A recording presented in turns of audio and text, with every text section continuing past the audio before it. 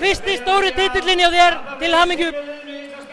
Ég var, ég var rúki 2011, þá satt ég á bekknum.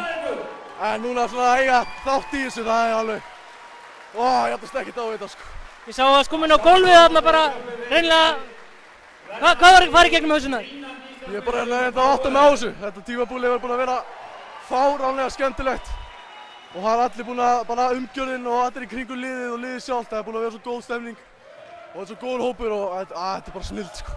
Leikurinn sjálfur, svona í helsinni, erfiður. Já, þeir leittu svona stærsta hlutan af leiknum en þeir komast aldrei einhvern veginn langt frá okkur þannig að við vorum bara síndum karakter og komum tilbaka og, og settum stóru skot í lokin. Verðskuldaðu sigur, Það ekki, það er með að vera víslandsmeistara, það hlýtur að vera. verðskuldaðu titill. Það sjálfsög, það er ekki spurning. Þinn síðasti leikur á Íslandi í, í einhvern tíma. Ég býst við því já, ef allt gengur upp þá er þetta, er senasti leikurinn á Íslandi í vonandi dágóðan tíma. Hvað er að fara að gerast? Það er skóli eins og er. Það bara fer eftir hvernig maður, gengur í prófunu á laugardaginn og, og svo bara hvort það vill eitthvað fá mig. Nei, sem, En ef þú skýtfællir í brúnu, er það sundsval eða? það er bara sundsval, ekki?